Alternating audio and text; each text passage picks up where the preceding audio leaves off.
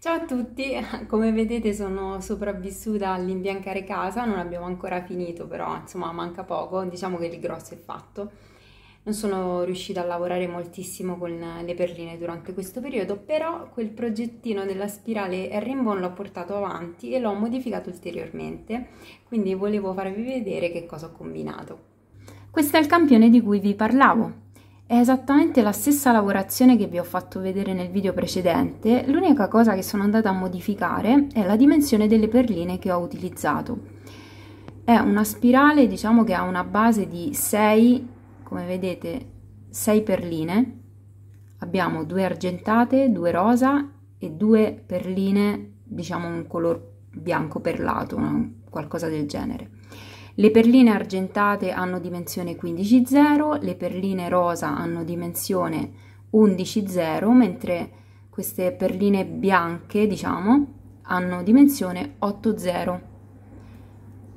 Poi abbiamo queste perline blu, sì, azzurro, blu, insomma un colore un po' particolare, un color jeans sembra più che altro, che sono quelle perline decorative che vengono aggiunte nella lavorazione per dargli questo effetto e sono anche loro misura 15-0.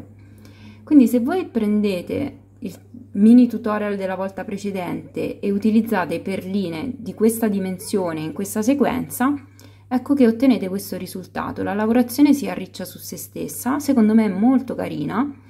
Vi consiglio di non tirare molto il lavoro perché se tirate il lavoro l'effetto che ottenete qui è di queste perline color jeans che tendono in certi punti ad arricciarsi, ma veramente basta rimanere morbidi con il filo che poi alla fine la spirale si avvolge su se stessa fondamentalmente. Uh, forse riesco a farvi vedere anche i codici dei colori. Queste sono le, colore, le perline color jeans, diciamo, Miyuki 2030 per le argentate credo siano le 181, ormai queste provette sono talmente vecchie che anche l'etichetta che avevo fatto si è andata cancellando. Invece queste rosa, il codice è il 539 e poi purtroppo di queste qui bianche perlate non ho, non ho il codice, devo averle prese veramente talmente tanto tempo fa che era ancora l'epoca in cui non registravo i codici dei colori mie, sui miei contenitori. E va bene, tutto qui, io spero che possa esservi di ispirazione perché secondo me questo genere di lavorazione veramente può essere versatile per fare moltissime cose, anche come vedete abbastanza flessibile. Quindi potete anche pensare di chiuderla, magari facendola un po' più lunga e come vedete viene una sorta di orecchino un po' come quegli orecchini in oro che mm, forse negli anni 90 andavano molto, io almeno me li ricordo, eh, erano dei cerchi fatti come un torchon chiuso su se stesso, no?